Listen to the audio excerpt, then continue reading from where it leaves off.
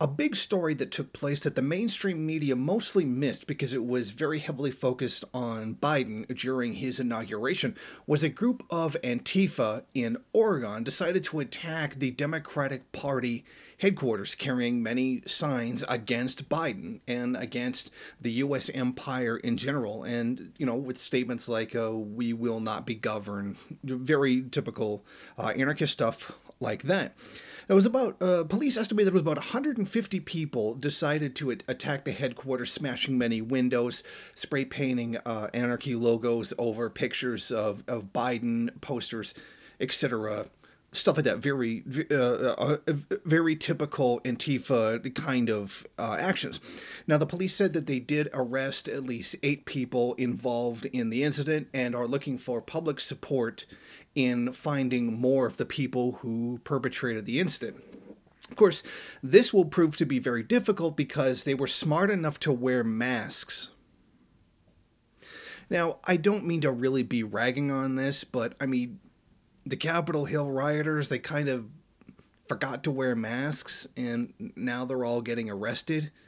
So you think back to all the times that the blank, the, um, the conspiracy theory group that starts with that letter and MAGAs in general were always attacking Antifa for wearing masks, calling them cowards, etc. You know, that's you know that's kind of easy to say when you're on the side of the police, or at least in that situation, you actually weren't on the side of the police. You know, that's that's why Antifa wears masks. That's why anybody with half a brain wears a mask. But you know, aside from that point that I really wanted to stick in there why isn't these sections of the right wing saying, well, I, I, I thought that, you know, Antifa was a paid employee of the Democratic Party and, and, and the George Soros and, and all the other conspiracy stuff.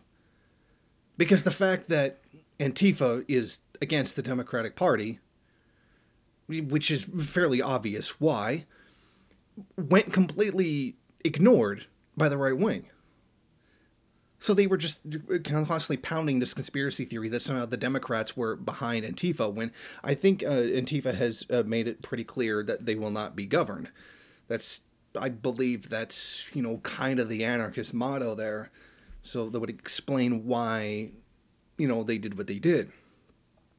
But it's interesting noticing that there is generally a kind of cognitive dissonance when it comes to these uh, letter conspiracy people single letter conspiracy people and the MAGAs in general. And they think that everything is the Democratic Party secretly subverting uh, the freedoms for the the evil commie Nazis or, or whatever thing that they're claiming now but they're kind of dead silent on this one. They're not, they're not really saying anything because you know this kind of goes against the the narrative.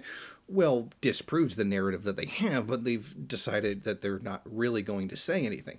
I'm sure eventually some person of this orientation will eventually say something, and it will be something to the effect uh, of a conspiracy theory, or it was a false flag perpetrated by the Democratic Party to throw people off the scent because that cognitive dissonance is always going to be there when you're dealing with conspiracy theory people. So I'm just really kind of waiting for that. But the news here really is that Antifa demonstrated that they were not on the side of Biden and, frankly, his legacy as a war criminal under Obama, and that Antifa certainly does stand against both parties. And in fact, I'm willing to bet that uh, Antifa in general doesn't support any party. Thank you for watching. If you like this program, then please head over to my Patreon page and set up a monthly donation. It's your donations that keep this program running. Also, if you would like, please rate, comment, subscribe, and share in various social media.